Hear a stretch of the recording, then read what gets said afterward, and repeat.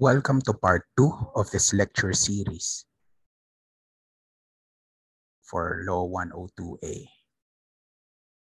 Ngayon, pag-uusapan natin yung iba't ibang mga transactions, iba't ibang mga kailangang gawin in order for a person or a group to effectively conduct their business. So without further ado, let's talk about business dealings. Ano ba ang covered nitong lecture na ito? We will be dealing with four topics. First is ease of doing business, which I would think is something that you've already heard of by now. Next would be e-commerce or electronic commerce. After that would be labor standards. And finally, we will be tackling the concept of social security. So sit back, relax, and listen very, very carefully. Of course, we would have to go back to one of the very first questions we have asked at the very beginning of this class. Of course, malinaw naman sa atin yung concept ng business as an entity, negosyo, isang likha ng tao o ng isang grupo ng mga tao which is both a medium for the accumulation of profit as well as in certain cases, like partnerships or corporations, an entity which itself can incur obligations, can perform certain actions, and can be held liable before a court of law or by virtue of a, contract or an agreement. But here, we will be talking about business not as an entity, not as a medium, but as an action. The term business can be used to define the efforts and activities of individuals to produce and sell goods and services for profit. So business as an action word, business as something that you do. Now, of course, business people, entrepreneurs, mga tao na gustong bumuo at magpatuloy ng kanilang sariling negosyo. In so doing, they do not act in a vacuum. Ibig sabihin, hindi naman nila ito ginagawa ng sila lang. In order for a business person to succeed, they are expected to and very well should interact and communicate with other actors, with other persons and groups. An entrepreneur has to interact with the government para ma-issuean siya ng necessary permits in order for the business to be operated in the first place. Some businesses, in order to survive, have to secure the services of other persons. An employer has to hire employees, and these employees will be the one will be the ones rather who will do the work on the ground if you wish to operate a coffee shop business, of course, sa umpisa, if you have a relatively small place, you can do everything, most everything by yourself. But there will come a time na you have to expand and hindi mo na magagawa yung mga dapat mong gawin ng mag-isa ka lang. You need to employ people. You need to lead and manage other people. And of course, entrepreneurs have to interact with others of their kind, other entrepreneurs. And so, let us ease into our study of Republic Act number 11032, our law governing the concept of ease of doing business. Republic Act number 11032 is the Ease of Doing Business and Efficient Government Service Delivery Act of 2018. This law has many impressive goals. Firstly, to encourage competitiveness and improve the overall business environment. In order to enable businesses all over the country to be at risk of sounding so cliche, no? in order for businesses to be the best that they can be, in order for businesses to become as competitive as possible. Another goal of the law would be to enable more efficient delivery of government services. We will be dealing with this matter in more detail in a bit. But as I have mentioned earlier, business people, entrepreneurs, they have to deal with government on a regular basis.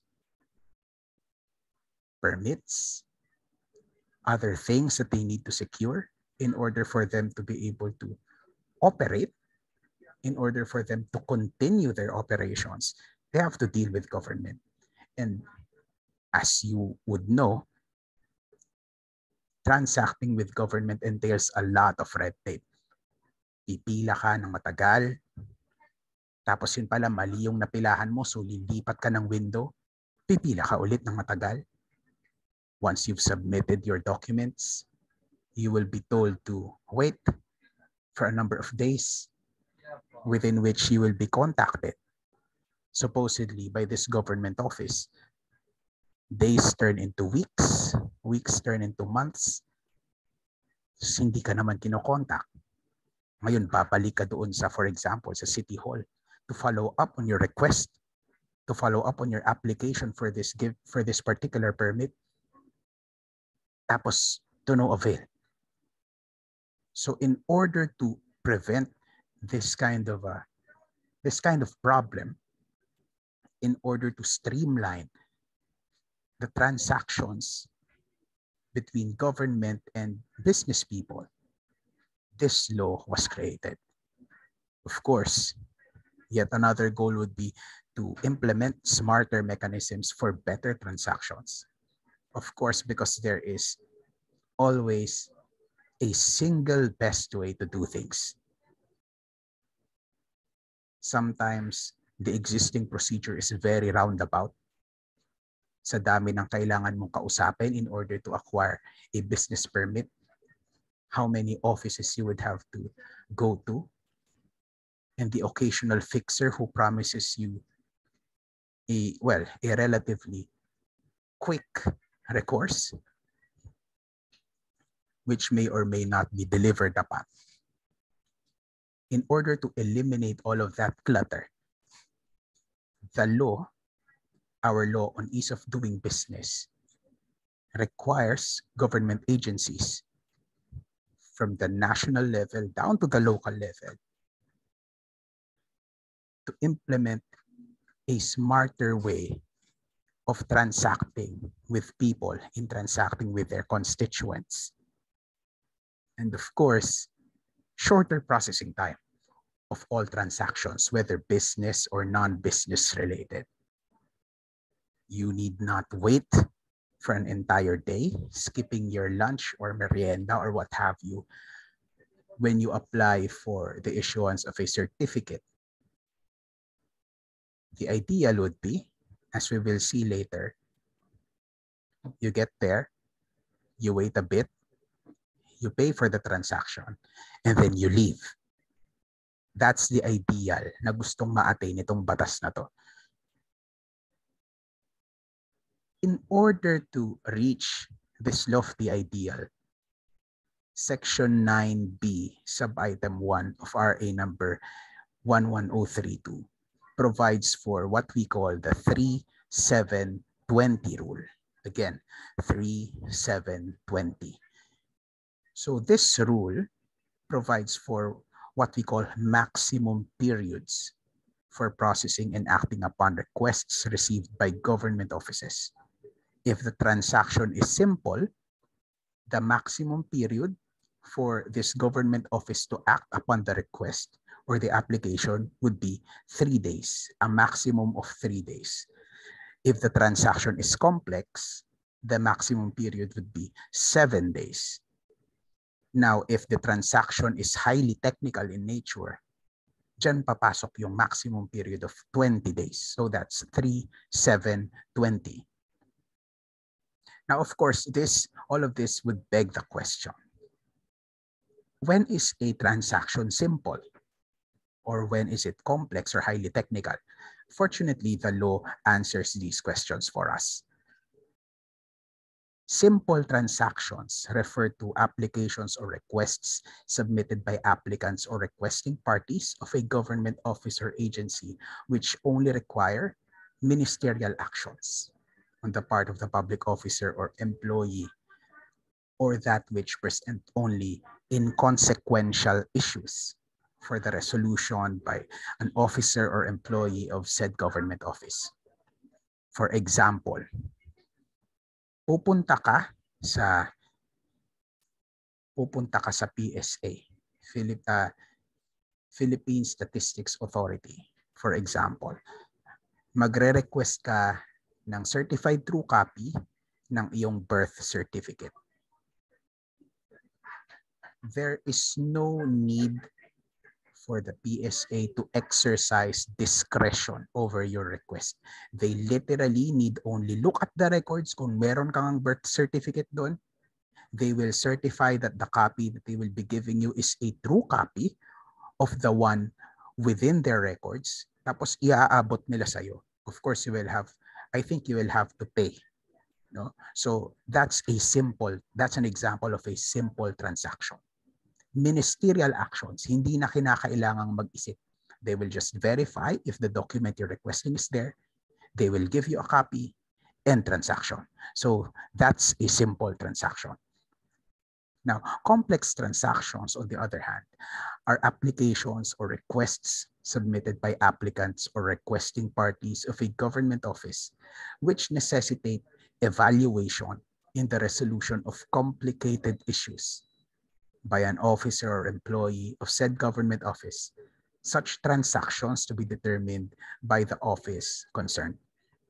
Like for example, I think a good example of a complex transaction is where one requests for the issuance of a copy of a document which might violate data privacy regulations kasi hindi lahat ng impormasyon, especially the personal information pertaining to individuals, hindi lahat yan e pwedeng ipakonsumo sa publiko o accessible to the public. And so, if you are requesting, for example, if you're requesting for a birth certificate of another person, kailangang alamin muna ng PSA kung meron ka nga bang karapatan or authority to secure that birth certificate for this other person. Kasi clearly, you are not that person. Hindi ikaw yung nakapangalan doon sa birth certificate na hinihingi mo. So of course, the office would have to come up with an answer as to why. Diba?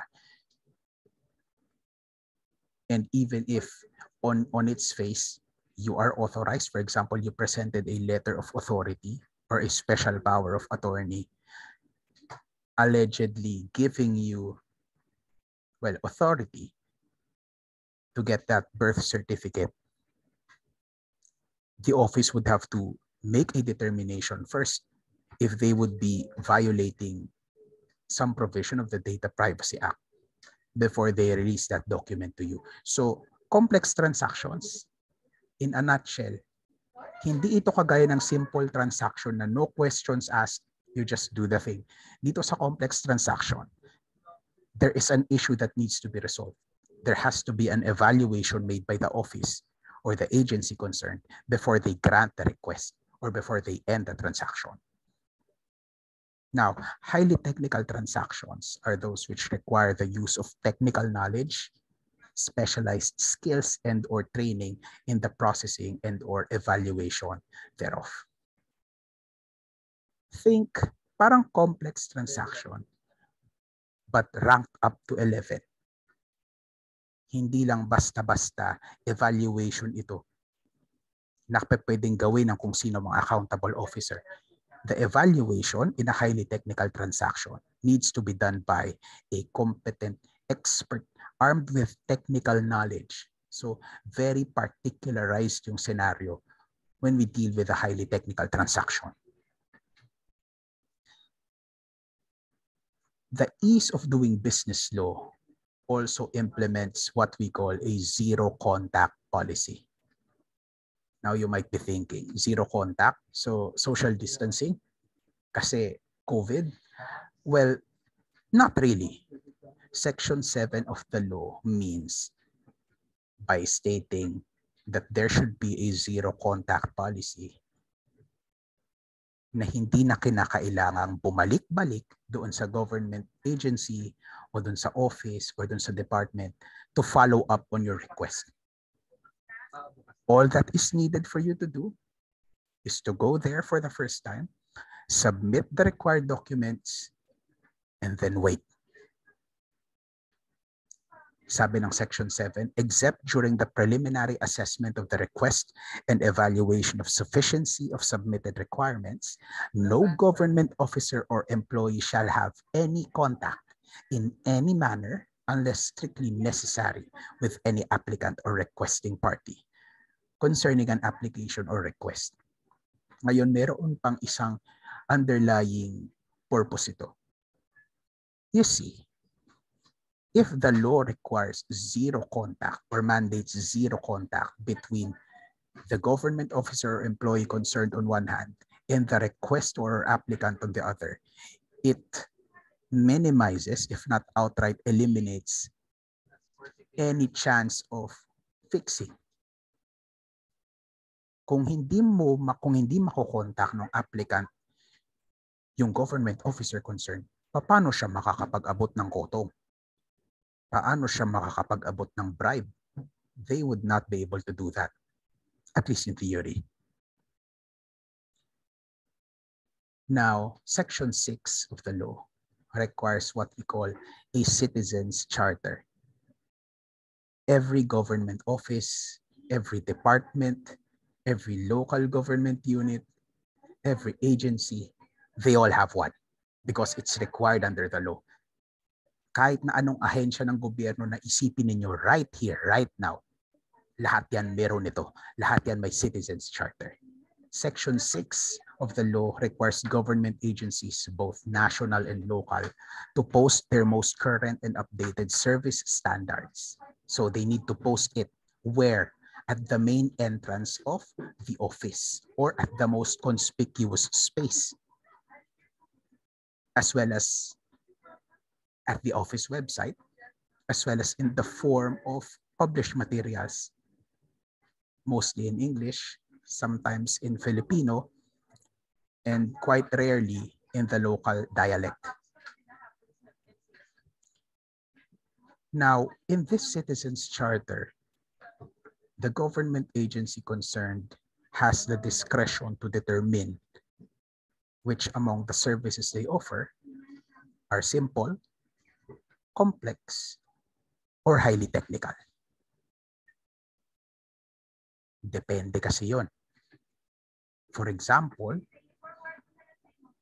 a local government unit has the power or duty to issue business permits.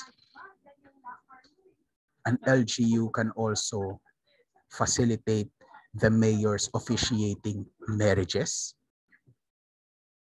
All right a local government unit can also handle administrative cases filed against LGU personnel. Maraming ginagawa sa kahit na saang government office. So ngayon, it is up to the government office concerned to categorize all of these transactions, all of these services. Ano ang simple, ano ang complex, at ano ang highly technical.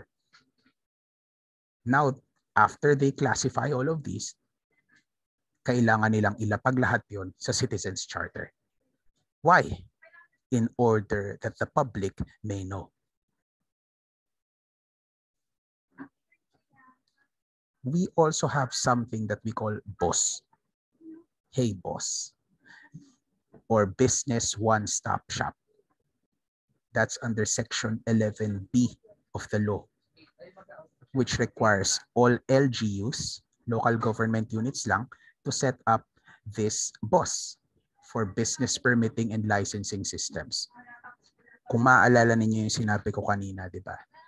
Dati-rati, para lang makakuha ng permit, kailangan mo pang pumunta sa kung saan-saan. Para kang, para kang nasa survivor na ang dami mong kailangan daanan na parang challenge isa-isa hanggang sa makuha mo yung gusto mong makuha, hanggang sa matanggap mo yung permit. Sometimes, after more than one day, after talking to, to so many people, after falling in line for so long a time, the boss seeks to eliminate all of that. Kasi unnecessary na kung saan-saan ka pa pupunta when you can just go to a single place, transact with a single office, and then after that, makukuha mo na yung kailangan mo. Which is, yun nga, that's what the boss is for. The boss is tasked to receive and process submission of applications for licenses, for clearances, for permits, for certifications, or for authorizations with the local government unit. Now, of course, the law also contemplates the possibility that its provisions may be violated by unscrupulous individuals. Section 21 of the law lists these acts that are in contravention of the law, as well as the persons that can be held liable for it. Firstly, the refusal to accept applications or requests without due cause. Kompleto naman yung dokumento mo, pero for some reason, na parang napaka-nonsense naman na dahilan, ayaw tanggapin nung frontline employee. That's a violation of the law. Now, like I mentioned, all of the important material particulars dapat nasa Citizens Charter. Because a Citizens Charter is for the public's consumption. Alam nila kung ano ang dapat nilang talhin, kung gusto nilang ma-issue ng uh, certain permit or ng certain authority, or a particular document that they're requesting. And of course, the public has every right to rely on what the Citizens Charter provides. Kung ano yung nakasulat sa Citizens Charter na dadalhin o kinakailangan, yun lang ang kailangan, yun lang ang dadalhin. It is against the law to add additional requirements or qualifications na wala naman sa charter. Now, of course, any application or request for the issuance of anything lodged with the government, dalawa lang naman ang posibleng pwedeng mangyari dyan. The request might be granted or it might be disapproved. Now, of course, in case of disapproval of an application or request, the requestor or applicant must be informed. Of course, that, that's basic due process. Kung hindi pinayagan, edi sabihin, hindi ba? Now, the failure to give the applicant or requesting party a written notice of disapproval also violates the law. Likewise, constituting a violation of the law would be non-compliance with the 3720 rule without due cause. Highly technical transaction or request kalahating taon ng pending. That will not do. Of course, if there is due cause, if there is justifiable reason, baka pa pwedeng mailusot. Pero kung yung nagtatagal siya sa isang government office yung request, for example, simple request lang, tatlong buwan na siya. Tatlong buwan na siyang pending without any logical reason. That is in violation of the law already. Another one, the failure to attend to applicants or requesting parties who are within the premises of the officer agency prior to the end of official working hours. As long as hindi pa natatapos ang workday, habang wala pang alas 5, kung merong tao dyan na nakapila pa na pwede pang i-entertain, dapat i-entertain sila. Otherwise, what's the point of imposing all of these measures for ease of doing business? The workday hasn't even ended yet. Pero ayaw nyo na silang i-entertain. Kasi yung kahera o yung frontline employee o frontline worker naghahanda na umuwi. That is also a violation of the law. Of course, the failure or refusal to issue official receipts as evidence of the concluded transaction also is in contravention of the law. And finally, and I suppose most importantly, fixing and or collusion with fixers. No? Bawal yan. Of course, I need not explain why. No to fixing. The law also imposes, for that matter, what we call a two-strike policy. No? Section 22 provides for only administrative liability with a six-month suspension for the first strike or the first offense.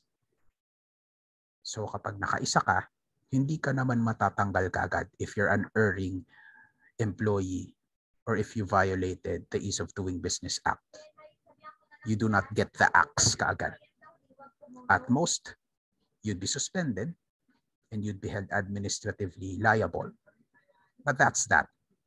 Basically, if you make a mistake, you get the time to mull over the consequences of your actions.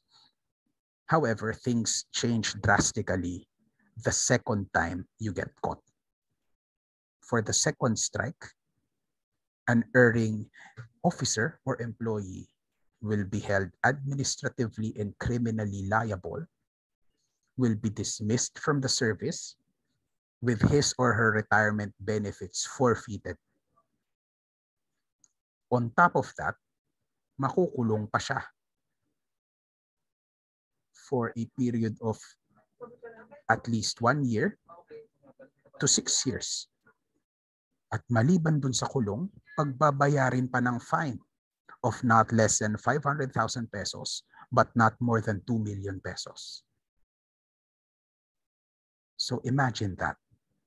The repercussions of not going along with the government's initiative of making things easier for people to get what they need from government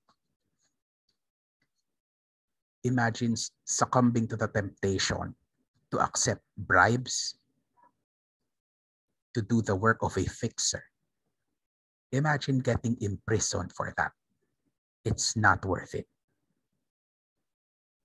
Now, of course, finally, we have the ARTA, or the Anti-Red Tape Authority.